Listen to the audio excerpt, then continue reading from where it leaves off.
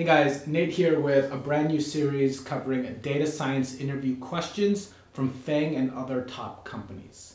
In this series, I will cover one real data science interview question.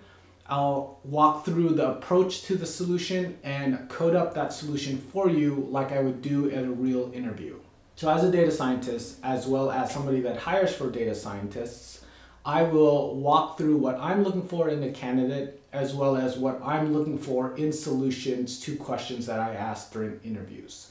So I will take a structured approach to solving each question that I have on these videos and hopefully for you, you'll be able to take that framework and apply it to any question that you get during a data science interview.